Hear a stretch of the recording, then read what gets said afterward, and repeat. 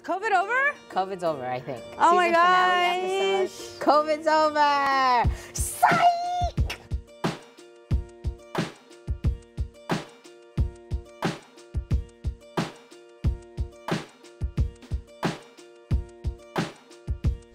At the beginning of the pandemic, I thought I had set everything up for myself in the Bay.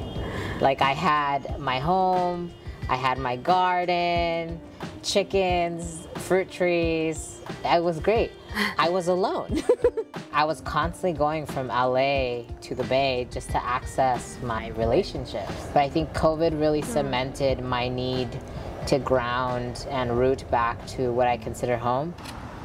So I'm moving back to Southern California, at least for a couple months, just to kind of enjoy it. Today's my last day in LA and feeling sad about it. I was feeling just anxious from being here in Oakland. I needed to change my environment. When I was in LA, I was staying in this beautiful place by Griffith Park where it was very quiet and in the morning all I would hear was birds. Oakland's going through a major gun crisis. I grew up here when it was very violent and I have very traumatic memories from it. And I just I'm just like, you know what, I just don't wanna I don't wanna hear gunshots every other day. I love the home I've created, but I can't change the environment around me. Yeah. And home is such an important place, especially COVID showed us that is ultimately our safest place. And it's time for me to start thinking about where I'm going to build my home. Yeah, I think I'm realizing too that home, a lot of it is people Yeah. and like being in proximity of the people who nurture you the most.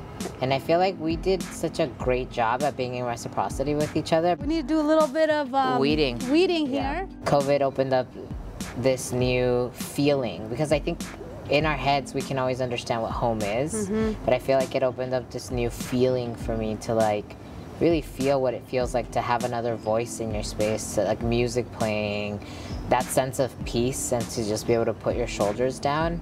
We're coming out of quarantine and I've been doing a lot of things now that we don't have to wear masks all the time. So I've been on. Can you get out of here? You're watching me record. Yeah, I'm gonna turn off the TV because I don't like video. I was afforded the privilege at the beginning of COVID to be able to grow my own food, to be able to harvest from trees, um, and to be in like mutual aid with you and with other friends. And I just wonder how many folks like me who are queer, trans, uh, POC don't have access to that. Um, so I also started a nonprofit in the middle of COVID to get Black, Indigenous, and people of color back to land. Boo, my garden is like popping. I feel like I feel like this is a reflection of like my mental state. It's like the soil is fertile. Look at this. I mean, what? We don't know where COVID is going. It's so pretty. And we know that our capitalist economic system is just completely trying to rush towards going back to the pace it was at, even though most of the world is not yet vaccinated. We don't know what the future of these variants are.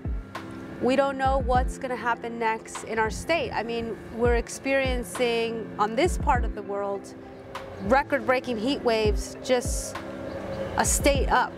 We are going to have to rapidly figure out how to support each other and our creatures and our plants and our ecosystems because we just can't do this alone anymore.